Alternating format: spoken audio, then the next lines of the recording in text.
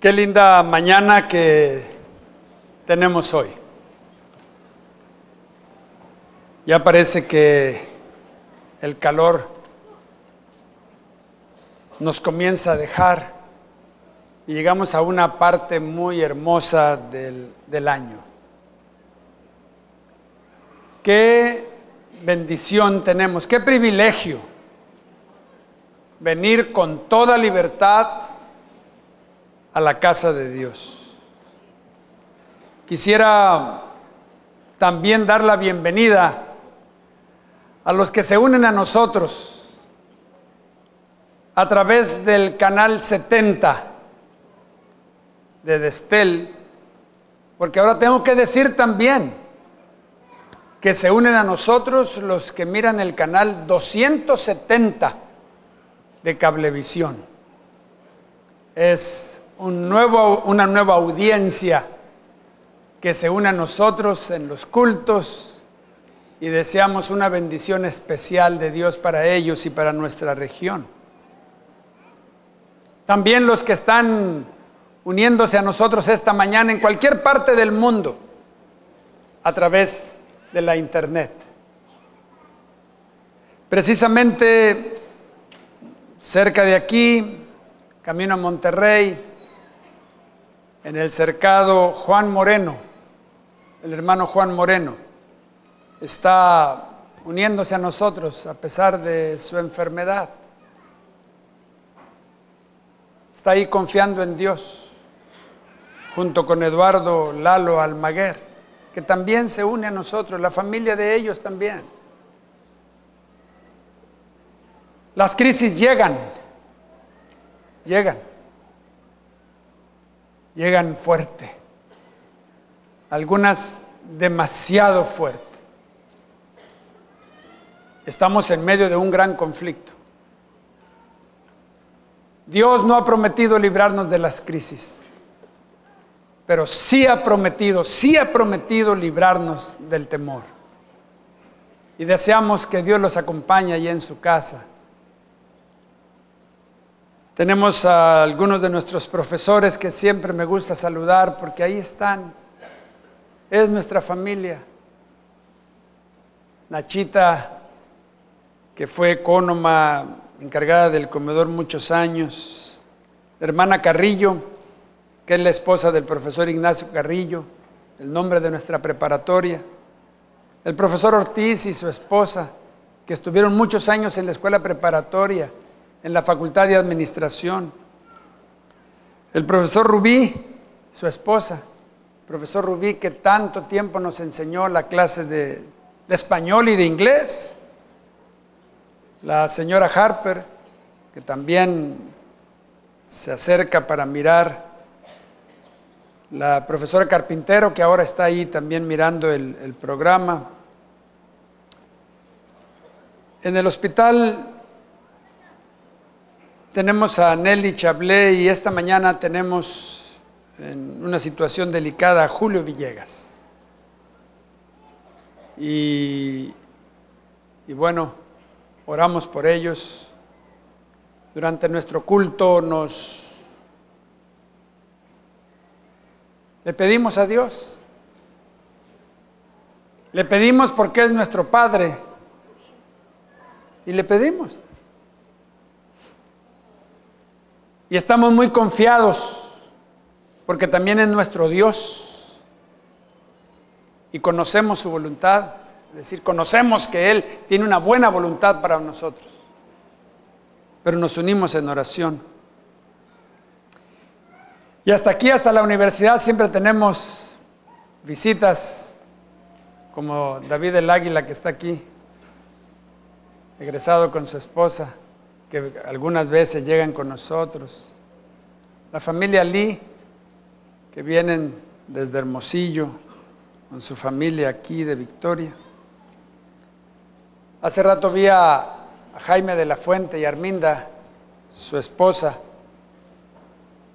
que han llegado para estar con nosotros este fin de semana. Me da mucho gusto saludarlos, Arminda, Jaime. Probablemente se me escapan, seguro que se me escapan algunos. Siempre es una Una alegría saludar a nuestras visitas. Somos una gran familia extendida en el mundo entero. Millones de adventistas que proclaman el nombre de Jesucristo.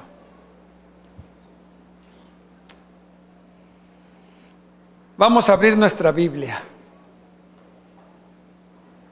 Vamos a leer en el Evangelio de San Mateo.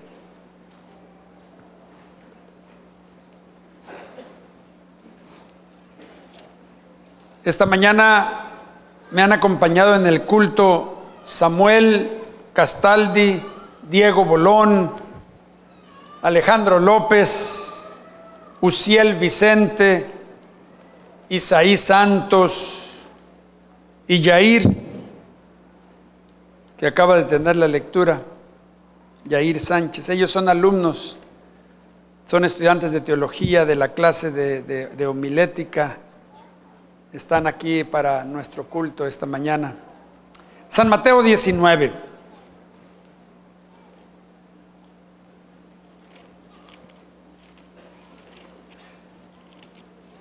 Y vamos a leer los versículos 21 y 22 ahora. Jesús le dijo, si quieres ser perfecto, anda Vende lo que tienes y dalo a los pobres, y tendrás tesoro en el cielo. Y ven y sígueme.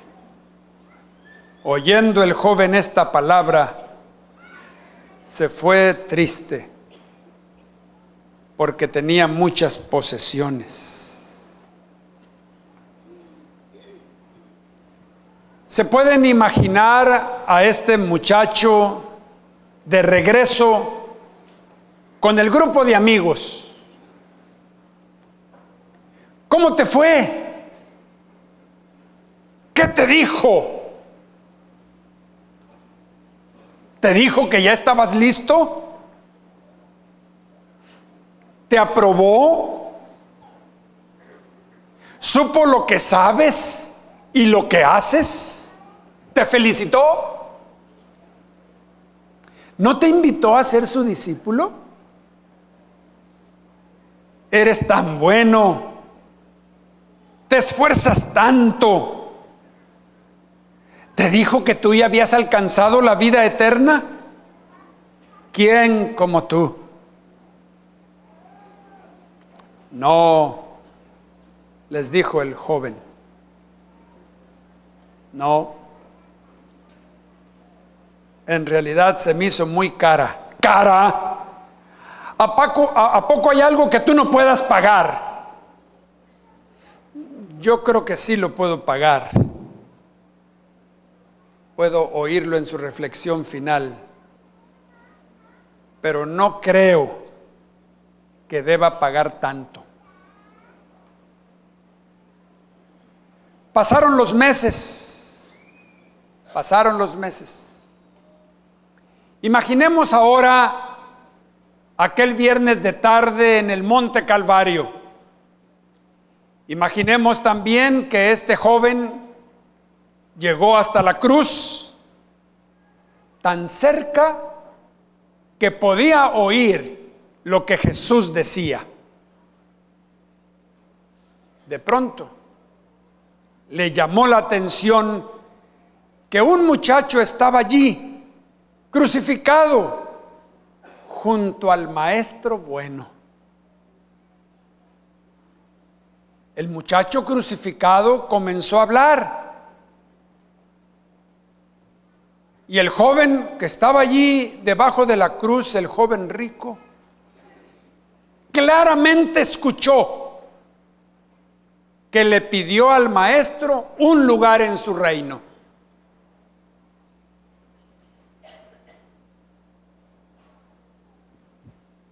Un lugar en el reino. Pero no pudo dar crédito a las palabras de Jesús en respuesta al pedido. Escuchó que Jesús dijo, sí, te lo aseguro, estarás conmigo en el paraíso. ¿Se pueden imaginar al joven rico reclamándole a Jesús diciendo, órale, ¿y a mí por qué me la ofreciste tan cara? Aquí se la estás regalando a este.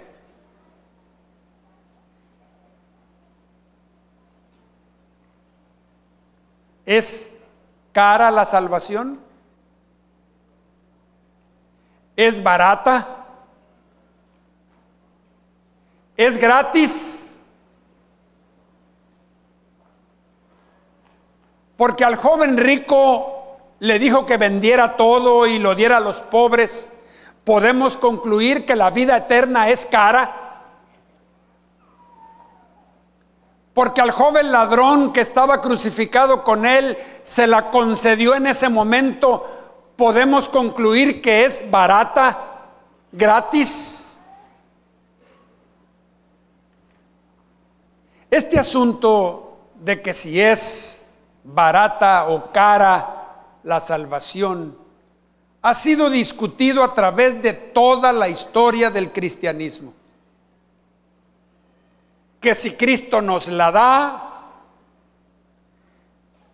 que si nos la ganamos nosotros, que si es por fe,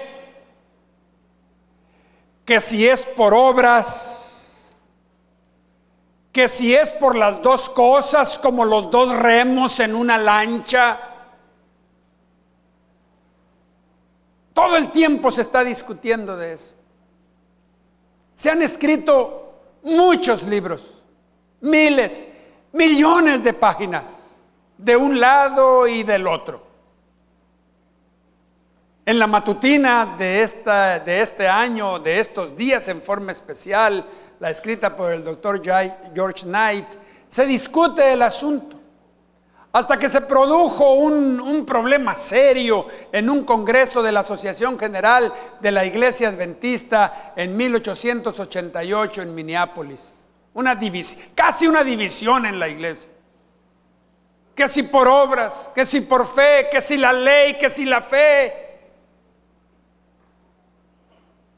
Probablemente hemos caído en la trampa de fragmentar el proceso fragmentar el proceso, con análisis muy finos en cada paso. Imagínense que nos, pudiéramos, que nos pusiéramos a analizar paso por paso el proceso de reconciliación. ¿Se han reconciliado con alguien alguna vez? ¿Con la esposa? o el esposo, con la novia o con el novio, con la amiga o el amigo. ¿Qué han estado dispuestos a hacer o a dar por una reconciliación?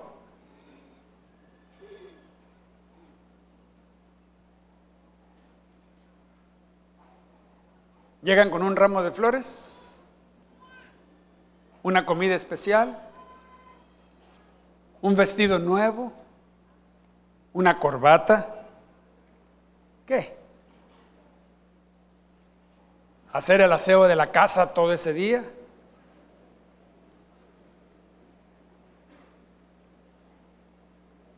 Ir y salir y traer un, raspado de conchita para para reconciliarse.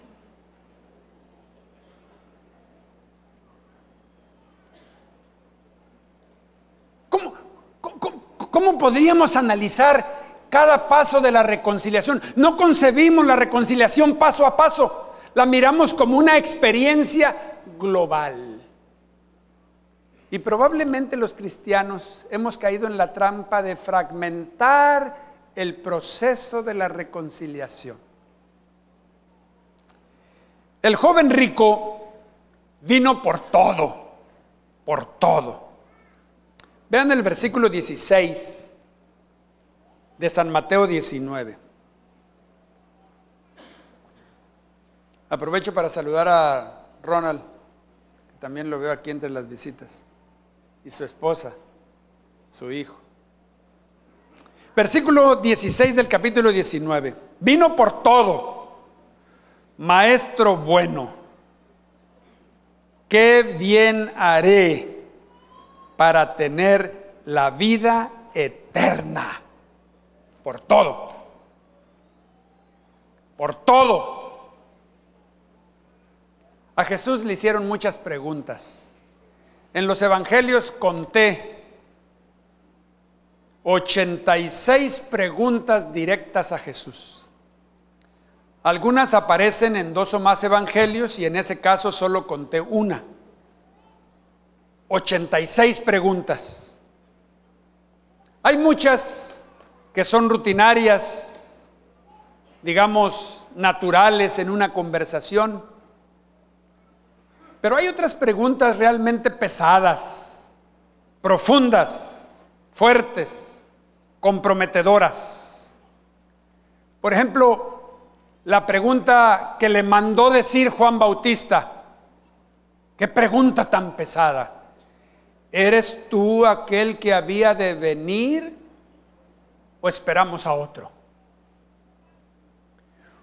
Hubo preguntas por parte de quienes querían enredarlo, tentarlo o acusarlo acerca de las tradiciones, acerca del reposo en el día del sábado, acerca de las relaciones matrimoniales, acerca de las relaciones con el gobierno.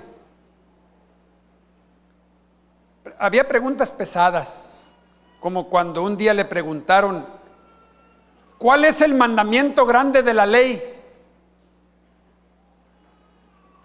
Un estudioso de las escrituras le preguntó un día lo mismo que le preguntó el joven rico. Este estudioso dijo, ¿haciendo qué cosa heredaré la vida eterna? Nicodemo no entendía la explicación de la salvación y le preguntó, ¿cómo puede hacerse esto? Pilato hizo una pregunta, pero no se esperó para la respuesta. Preguntó a Jesús, ¿qué es la verdad? Qué bueno hubiera sido que se hubiera quedado Pilato allí. ¿Qué discurso que le habría dado Jesús? ¿Qué es la verdad?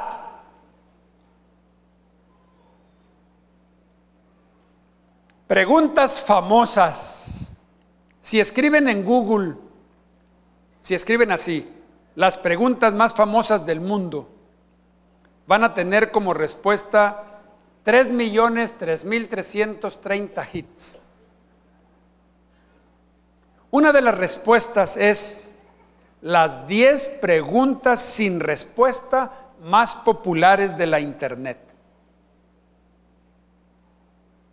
Un motor de búsqueda publicó una lista de las preguntas sin respuesta más buscadas en la red. ¿Saben cuál es la primera en la lista? Las 10 preguntas más populares buscadas en la Internet. ¿Saben cuál es la primera? ¿Cuál es el significado de la vida?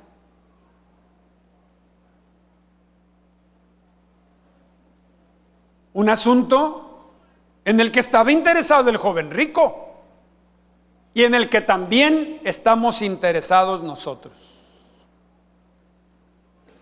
Quisiera señalar algunos tres puntos con respecto a esta entrevista de Jesús con el joven rico. Primero, evidentemente el joven rico tenía un problema de insatisfacción con respecto al significado de la vida. Evidentemente y una gran preocupación con respecto a la vida eterna. Vean el versículo 16. ¿Qué bien haré para tener la vida eterna? San Marcos dice que vino corriendo y se hincó a los pies de Jesús. Tenía una, profunda insatisfacción. Vino corriendo y se hincó para preguntar. El joven rico que hizo esta pregunta era uno de los gobernantes. Tenía grandes posesiones y ocupaba un cargo de responsabilidad. Había visto el amor que Cristo manifestara hacia los niños que le trajeron. Cuán tiernamente lo recibiera y alzara en sus brazos y su corazón ardía de amor por el Salvador. Y fíjense, sentía deseo de ser su discípulo. Se había conmovido tan profundamente que mientras Cristo iba, iba por su camino, corrió tras él y arrodillándose a sus pies, le hizo con sinceridad y fervor esa pregunta de suma importancia para su alma y la de todo ser humano. Maestro bueno, ¿qué haré para poseer la vida eterna? Así que evidentemente, número uno, evidentemente, tenía un alto grado de insatisfacción con la vida. Número dos, evidentemente el joven rico era muy buen muchacho. Vean el versículo 20, Mateo 19.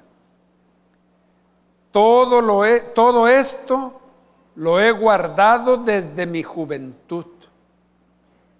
¿Qué más me falta? Un precioso joven.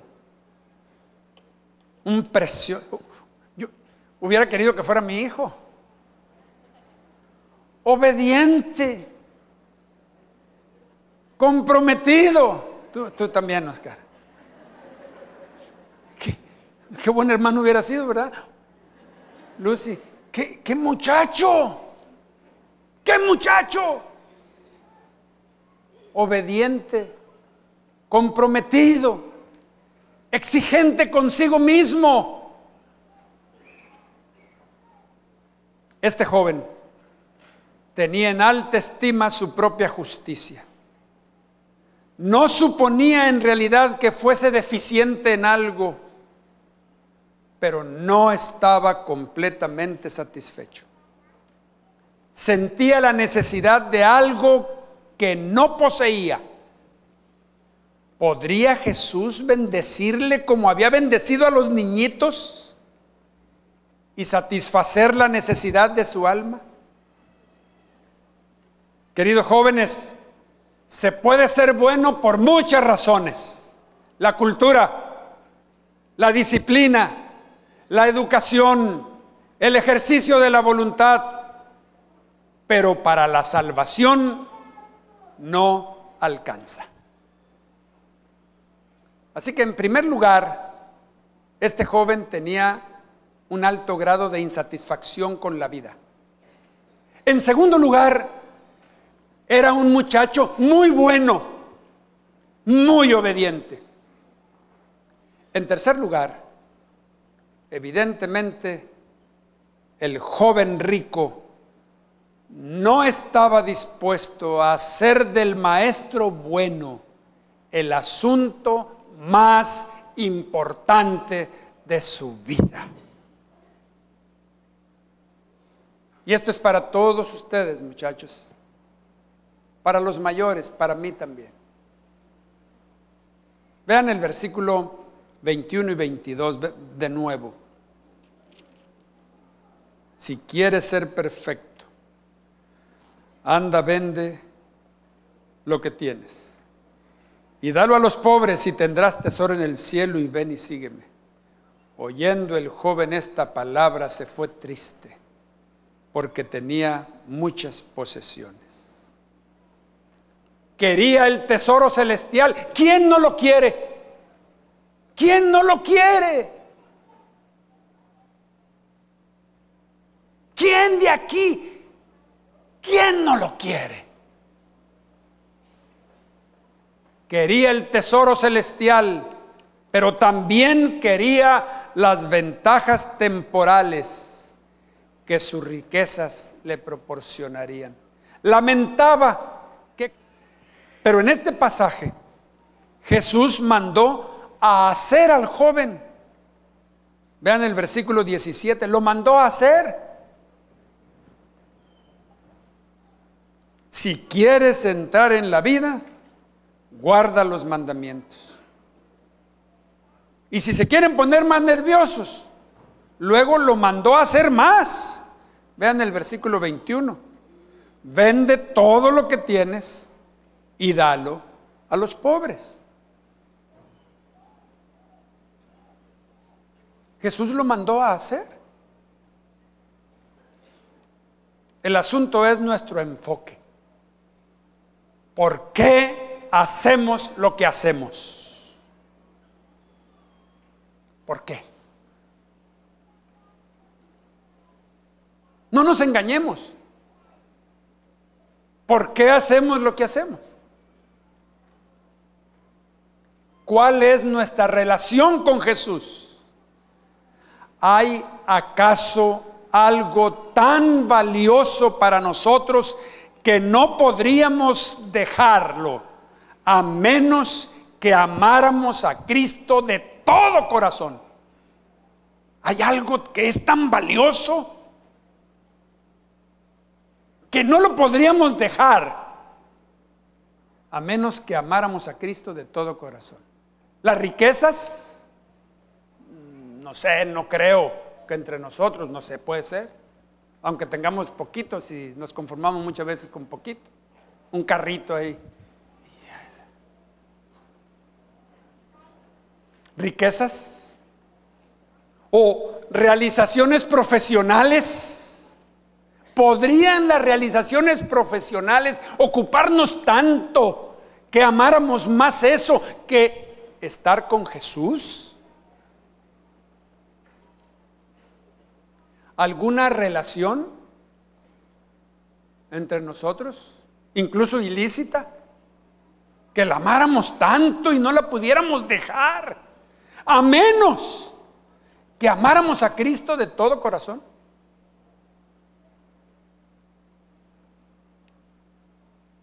Afanes de la vida ocupación y querer tener éxito, que no lo podríamos dejar a menos que amáramos a Cristo de todo corazón. Les decía esta semana a los estudiantes de homilética que todo lo bueno que hacemos es como un cero, un cero. Podemos enlistar todo lo bueno que hacemos y solo agregamos ceros y ceros y ceros y ceros, ceros, cero, cero. Estos adquieren valor con un uno a la izquierda. Si el uno lo ponemos después de los ceros, a la derecha, pues cada cero que le aumentamos, empequeñecemos más el uno. Cada cero que le ponemos, pues más pequeño es el uno. Enfoque en nuestra vida. Y ya saben que en nuestra vida el uno a la izquierda es Jesús. Y Jesús le da valor a todo lo que hacemos. Si Él no está, es cero.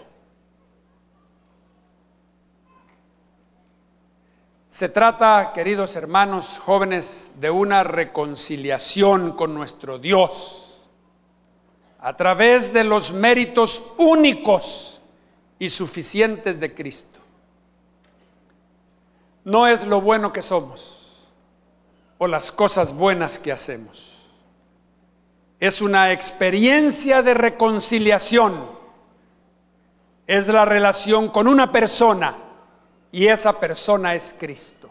No es una lista que checamos, es la relación con una persona. Imagínense un acto de reconciliación en el hogar. El esposo no, no establece una relación con la esposa.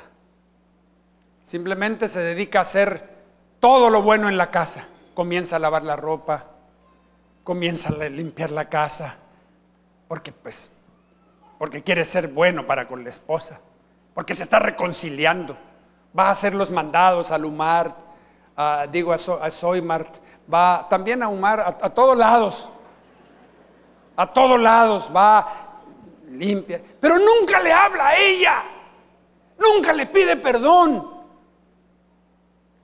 ¿Es, ¿Llamaríamos a eso reconciliación? No, no, ¿cómo, cómo va a ser una reconciliación? Y le decimos, oye, ¿no te has reconciliado? Claro que me he reconciliado, mira todo lo que hago en la casa todo el día. Y la esposa, y no le habla a la esposa. No está reconciliado. Y si se reconcilia con la esposa y le dice, espérame tantito, mujer, voy a ir a lavar la losa. No, no te vayas, quédate aquí, yo la lavo después. Eso es reconciliación. Es todo un paquete.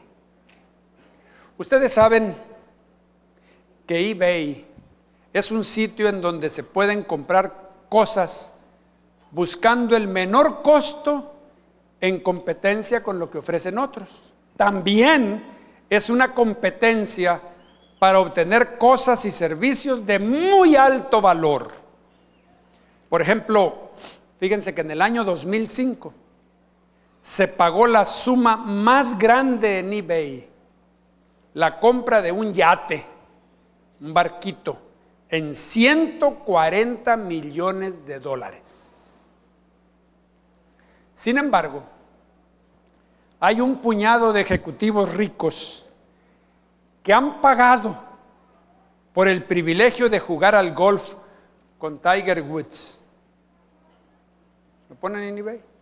La cantidad más alta jamás pagada en eBay por una ronda de golf con él es de 425 mil dólares.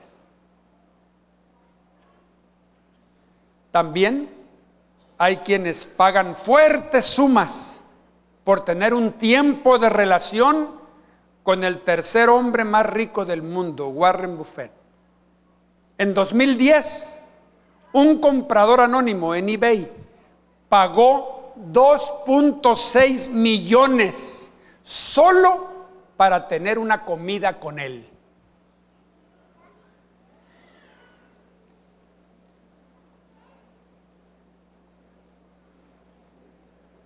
Si quieren comer, yo les pago porque coman conmigo.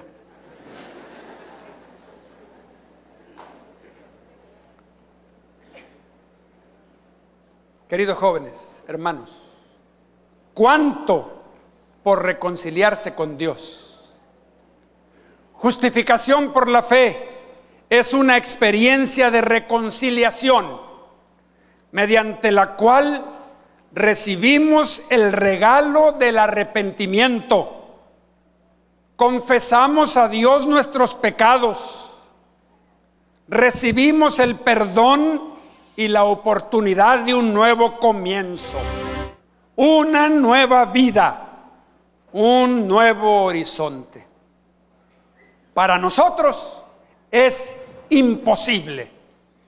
Jesús lo dijo. Vean el versículo 26.